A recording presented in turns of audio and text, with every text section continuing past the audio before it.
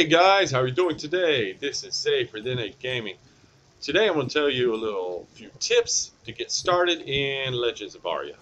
Okay, so say you start in one area and you want to go to another area and you notice the map is completely blacked out in the other areas. You, you can't you can't see anything, right?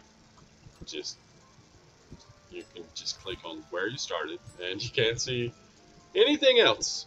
So, what you're going to have to do is you go to the other towns. Right now, I'm in Eldeim Village, and you have to find a general store. Okay, so you go on the map and you see this little barrel, right? And you're going to go over here and you'll see map of Upper Plains for this area. Now, this will be 200 gold for each area. So I'm going to go ahead and purchase this. All right. And yes, I want to use it, of course. Now, when we open a map, we can see this area. And it's really hard to play if you can't see the area, you know, and then you're trying to meet up with somebody or whatnot and tell them, hey, I'm here. And they don't have that map of the area, which what you'll want to do once you start getting some coin is go and you start exploring other areas. You're going to have to go to a general store right away. Now, Eldeim, or Upper Plains, I guess, yeah, Upper Plains area, is one of the better areas to start out because they have lots of bandits. And if you're if you're starting a melee character, it's a definite must. If you come over here in this area, you're going to fight a lot of bandits. Now, what's good about bandits are they drop armor and they drop weapons. So, when you're getting started, you're going to go through a lot of armor and weapons. And if you're fighting stuff that's replenishing that armor and weapons, which you're, you're getting broken, you never have to buy. That means you can save your coin up for say buying a land piece of land as quickly as possible before everybody else kind of fills up the area that you might want to put down a house in. now, as you're killing stuff, you're going to want to, let me make this a little bigger. You want to skin them, all right, if it's uh, an animal, and get the hides. Sell the hides to the tailors for about 50 copper each. As you're going around also, you're going to see cotton plants. You want to pick up the cotton because, again, you can sell it to the tailors. The fluffy cotton, you can sell for about 500 gold per fluffy cotton. That's the tier 2 fabrication material for like cloth for caster items. Now, they need that to make the tier 2 items, in which they're going to need for crafting orders. It's rare.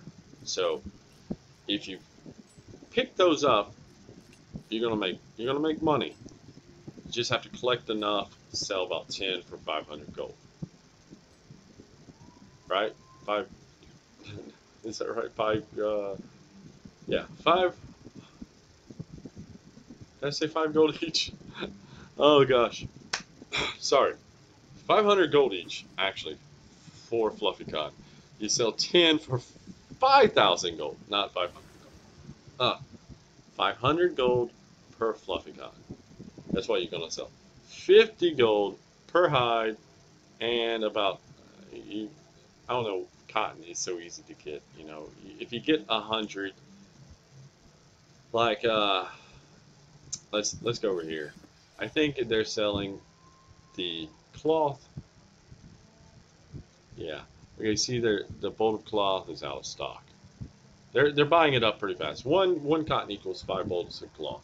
I think it's three copper per bolt of cloth, 17 silver for 99. So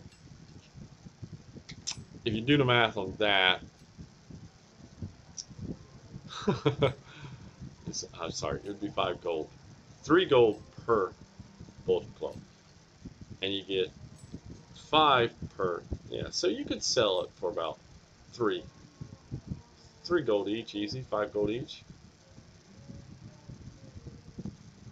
For, yeah, five gold each. That would that would be more than fair. Actually, maybe even make it ten gold each on the cotton. That way you get get ten, sell it for a hundred gold. Get it to hundred, sell it for thousand gold. So that's some quick, easy money without having to take another skill. Hides, cotton. The skill also that is really easy to make a little extra coin off of, you know, here and there, is lockpicking. If you're going to be a straight melee character like I built here with uh, bashing, blocking, healing, martial prowess, and vigor, okay, the, la the I had one skill slot left. You can either do something like fabrication, or you can do lockpicking. Lockpicking is important when you're going into dungeons. There's tons of chests in the dungeons. Then you can pick the locks and get free gold, free items. And you get rare items that you can then sell on your vendors. So that should really help you out. Also, you can do treasure map. Like if you have a friend with treasure maps, they they can do treasure hunting, and you can be the lockpick, you know, and you can do them together. Later on, treasure hunting gets pretty hard to solo. You get liches and whatnot popping out, and then you're going to run into uh, you know a little bit of struggle. Though they did increase the time for chests to stay out in the open for 30 minutes now instead of like before it was only three minutes. And then yeah, like when you're kind of in the lower range and you get three liches to pop out on you, three minutes usually was not enough time to get rid of the liches, usually by running away or kill them. You know, it, it's just not not an easy task to do when you're just starting out. So, yeah, there, there's my tips, man. You get to buy a map. You just go to the general store when you go to a new area to make some extra coin. Go after skinning and picking up cotton. And then, if you're really going straight melee, find bandits. Find an area that spawns bandits. Upper Plains is an easy area for that. There are other bandits in other locations, but Upper Plain has a bandit camp, and like then there's the little mini camps that you can find that has treasure chests that you can get even a little extra money from. You're also going to want to buy food. Food helps you regen. So, yeah. Also, remember to pick up these seeds when you when you're harvesting. Pick up the seeds. They they could sell. Like you get certain seeds, people want to buy or use them, not buy them. They want to grow the plants and use the plants to uh, use for decoration purposes. You know, strawberries and uh, green peppers are good for like making it look like Christmas lights and such. So it's it's kind of a valuable thing as well.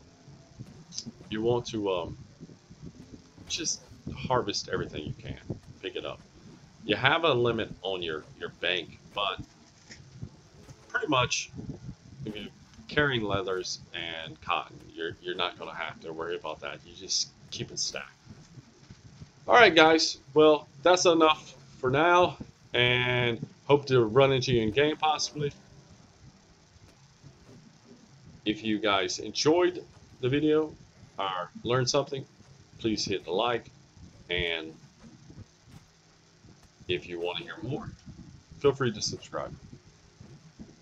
All right, guys. Peace out.